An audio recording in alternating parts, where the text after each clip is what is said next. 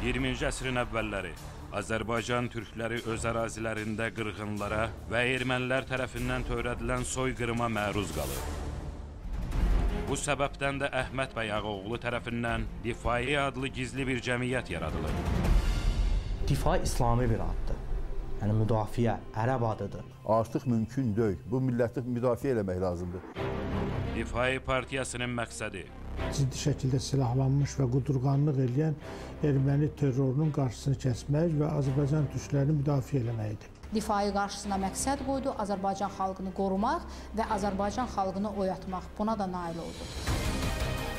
Difai partiyası inandırıcı şəkildə nümayiş etdirdi ki, Azərbaycan xalqı özü öz müqəddəratını həll edə bilər. Təşkilat özündən sonra gələcək nəsillərə lazım gələrsə milləti üçün candan belə keçməyi, bütün məşəqqətlərə sinə gərməyi, yəni müqəddəs difai ənənəsini miras qoydu.